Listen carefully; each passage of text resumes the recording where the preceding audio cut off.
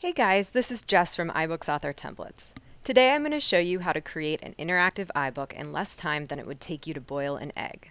One of the easiest ways to make sure your final book looks amazing is to start with a template.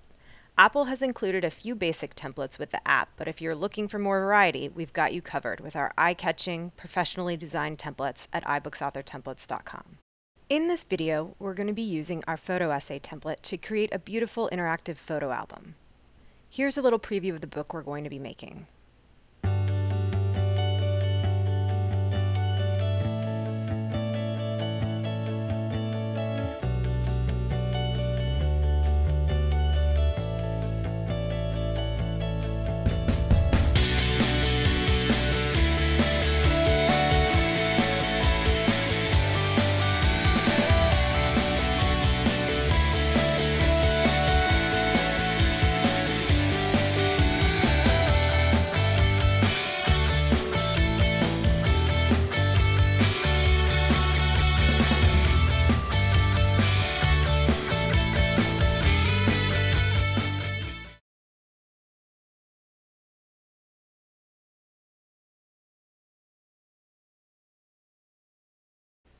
Double-click the template and it will automatically open in iBooks Author.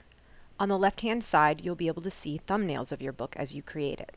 Books are organized into chapters, sections, and pages. Choose from any of these different layouts to start creating your book.